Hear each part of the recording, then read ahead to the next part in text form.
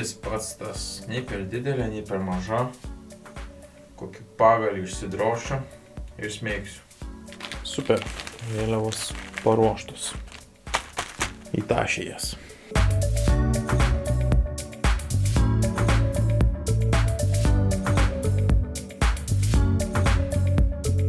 Manau, šitas apsilankimas buvo pats paskutinis prieš pat kelionę. Tiesą sakant, tik iš Dunojaus kaip grįžau ir iki pat dabar ėjau dažnai tvarkytis dantis, nes buvo daug prigėdusių. Ir dabar aš jau filmuoju, nusprendžiau, kad šiandien reikia filmuoti viską 4K. E, tie pirmieji kadrai, kur vėliavas išskleidžiau, ir išpakavau, tai ten nebuvo 4K, nes tiesiog pamiršau įsijungti. Kadangi vakar man HD vlogas surenderinos per 2 minutės, tai labai įdomu išbandyti 4K, kaip rendins, kaip montuosis ir šiaip kaip visą medžiagą suvirškins. Tai rytoj vlogį ir plačiau pasidalinsiu apie visą procesą.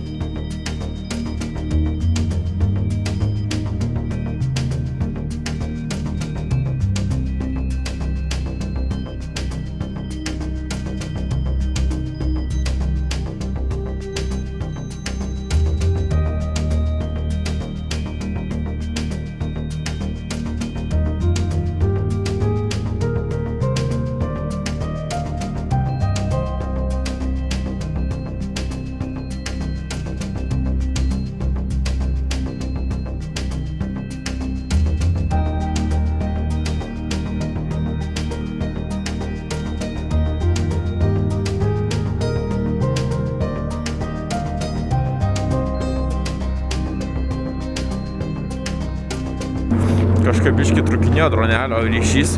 Nu įdomu. Šiaip ką pagalvojau dėl aukščio ugnikalniuose. Tai turbūt aukščiau 6, ne, ne 6, o 5 km nelabai stengsiu skelti drono, nes truputį rizikinga. Gali būti taip, kad paskui nei pakils, nei nusileis ir greičiau suduš tas dronas. Nes kiek šiaip realiai žiūrėjau tų eksperimento aukštyje, tai vienas bičiukas prie 5800 metrų pakėlė droną, suskraidė. Sakė, buvo nelengva, vis tiek ten oro trūkumas, bet įmanoma. Tai aš irgi turbūt aukščiau nelabai bandysiu, tai ant to aukščiausio ugnikalnio ojos dėl salado, kuris yra 6894 metrai, tai ten tikrai nepavyks dronelę pakelti. Tai pasitenkinsiu jo apskritai, jeigu pavyks ant jo užkopti, dar žinoma, truputį kadrų iš kameros, bet užkopimas tai yra viena, bet dažniausiai būna sudėtingiausia nu, nusileisti nuo kalno.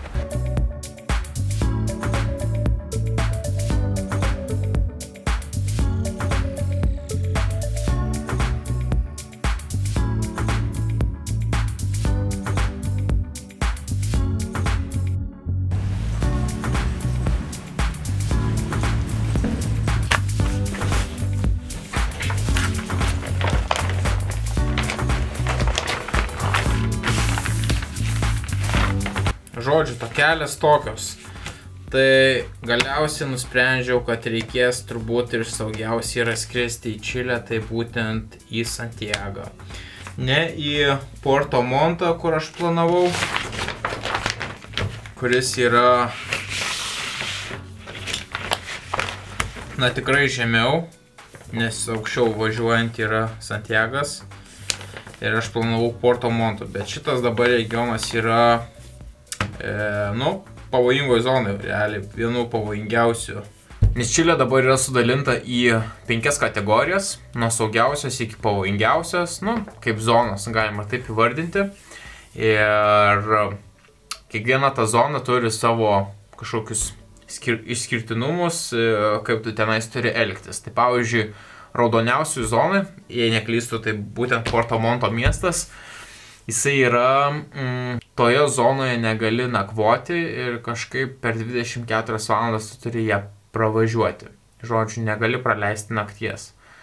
E, Santiagas yra oranžiniai zonai ir ne pati geriausia, bet ir ne pati blogiausia. Ir kas liečia karantiną, tai yra tokios sąlygos. Atskrendi į oro uostą ir turi 24 valandas kaip ir susirasti karantinavimosi vietą. Tai aš per tas 24 valandas nusipirksiu keletą SIM kortelių, kad turėčiau jau internetą telefone. Žinoma, aš jau būsiu susiradęs būstą kažkur Santiago arba netoli Santiago. Ir tada pats procesas toksai. Apsistoji ir kiekvieną dieną, jei neklystų, iki 12 valandos tu turi patvirtinti e-mailu, kad tau viskas kaip ir ok, kas ten liečia sveikatą. Nu, tokią basic formą, kiek žinau, kurią užpildo visi gyventojai net. Tai kiekvieną dieną iki 12 valandos turi išsiųsti tą e-mailą ir tarp 6 ryto ir tarp 10 vakaro ir 6 ryto tu turi būtinai būti namuose. Ir tada toks klausimas, ei, tai gal tada dieną gali būti laukia, kažkur kitoj vietoje, bet ne, irgi negali būti, bet tiesiog, tiesiog jie taip tokį suformulavo teiginį ir tave iš dalies gali bet kada patikrinti.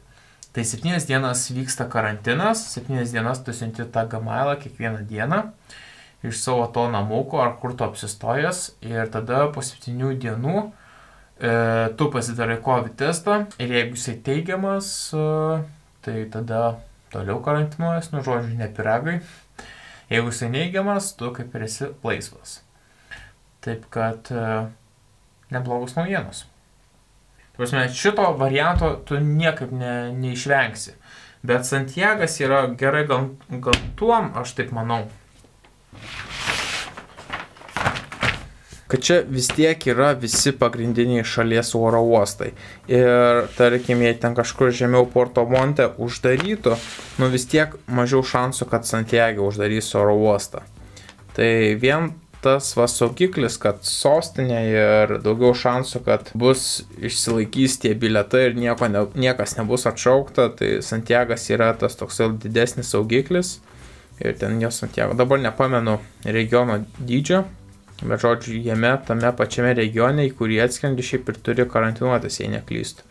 Nu tai kažkur susirasiu būstą ir tuo pačiu atskridęs į uostą jau susiderinsiu ir transportą, kad e, transportas, nu, savininkas tenais mane pasitiktų jau oro uostą su mašina ir tada apsikeičiam viską, pinigai ir kiti dalykai. Ir jau realiai nuo oro uosto aš jau keliauju su, su išnuomotu automobiliu. Tai man jau tas yra saugiklis. Ir tada po karantino mano planas yra leistis visgi į Čilės apačią, na, ne pačią apačią. Čia toks biškai truputį įdomu žemėlapis, nes jis išdalintas į keturias dalis. Reikės gal nuskenuoti, susijungti per Photoshop ir atsispausdinti vientisą ilgą, taip pat ir senelių reikia atspausdinti. Tai va čia yra ta Čilės apačia, bet į Čilės apačią automobilių keliais jau nebus įmanoma pravažiuoti nes čia yra ta geltona valstybinė siena ir jeigu tu nori atvažiuoti čia nais, tarkim, prie ugnies žemės, tu turi vis tiek važiuoti per Argentiną. O kol kas su Argentina sienos yra uždarytos žemyninės. Na tai e, vis tiek, priartėsiu gan žemai, tai vaizdų bus gražių, spūdingų, aš tikiuosi. Čia tas Porto Montas, kur norėjau į jį pirmas, pirmas skristi, tai dar nuo Porto Monto galima kur kas leisti žemyn čia drąsiai. Tai vis tiek planas yra pasiekti pačią pačią apačią automobilių. Tai aišku, iki pat ledino. Iki ledino davažiuosiu, tada ten aptirinėsiu ir po truputį pradėsiu kilti šalies, link šalies pietų. Na ir po truputį kopti vieną kitą ugnikalnį, nes čia tų ugnikalnių tokia visa virtinė yra bet irgi čia yra tų raudonų zonų, tai reikės, yra ta žemėlapis, viską jame galima sekti, kiekvieną dieną atnaujinamas, e, žodžiu, neblogai ten padirbėjęs su tuo žemėlapiu, gan viskas tikslu, aišku, nu, būtų fainai tokios nakvynės, ne? Prie ledino, visai nieko. Pabandysim kažką išgimdyti ir mes panašaus. Kas liečia kreditinės korteles, apskritai e, pinigus, tai turbūt pasimsiu Revoluto Metal, jinai nepigi yra, 14 e, eurų mėnesiui, bet e, su ją gali per mėnesį laiko įsigryninti 800 dolerių ar eurų. Tai nemaža suma, nes su mano ta basic standartinė yra ten tik tais 200 į mėnesį. O tenais yra keletą bankomatų, tų tipų, rušių bankų, kur visiškai neskaito mokesčių nuo revoliuto. Nu, man, aš jau ten truputį susižinojau iš vietinių. Tai pasimsiu va revoliutą, plus kas gerai, kad sakė šalyje daug kur atsiskaitoma kreditinė kortelė. Tai nereikia ten tų grinųjų labai daug turėti, bet ir tai galvoju, kad tik nu, reikėtų kažkiek išsikeisti, bet gal ne per daugiausiai. Draudimą taip pat susiradau, vadinasi Hey Mondo. Ir jisai draudžia. Draudžia nuo COVID, kas yra gerai. Nes daug, daug kas nedraudžia, tai pasirinkau laikotarpį būtent nuo 16 vasario iki gegužės 10. Ir čia yra keli tipai, tik tais medical, čia truputį šustresnis ir čia tipo šustriausias. Tai čia draudiminė suma 10 milijonų eurų, daug kas included, bagažas, elektronika, nu čia galima. Tai va tas Tadas ir Šovas tai sakė, būtent šitą irgi visą laiką dažniausiai ima, kopijų kalnus kitose šalyse. Yra net visai e, šitame webe toksai šūstras draudimas visų metų. Ir nesvarbu kokiam kelioniam po visą pasaulį, bet e, yra išimtis, kad kelionė negali trukti ilgiau negu 4 mėnesiai. Tai kaip ir e, su šita kelionė viskas ok, bet aš vasarą nusimatęs rimtesnių planų ir ilgiau negu 4 mėnesiai. Tai galvoju, tai, o gal met, metams imti, bet pasiskaičiau, kad nelabai apsimoka man. Bet kas jeigu va tai va nori, tai jaučiu geras planas. Labiau apsimoka negu kiekvienai kelionė skirtinga tą draudimą vis iš naujo imti. Skrisim pamatyti nacionalinių parkų.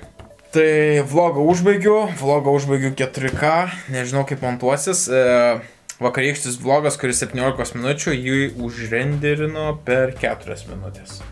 Prasitestavau, Bet kažkaip noras daugiau kokybės, daugiau bitreito reikia kelti, aš įtariu. Tai pabandysim dar užkelt daugiau, kad išspaust maksimumą. Tai geros vakaro, ačiū, kad buvot kartu ir susimatysime šeštadienį. O sekmadienį turėsim podcastą. Jo. Teks biškai pasilaikyti atstumo, karantinų, skafandrų, mikrofonai, viskas čiki piki, bet uh, turėsim podcastą, tai keep in touch, bus visai įdomu, manau. Ciao.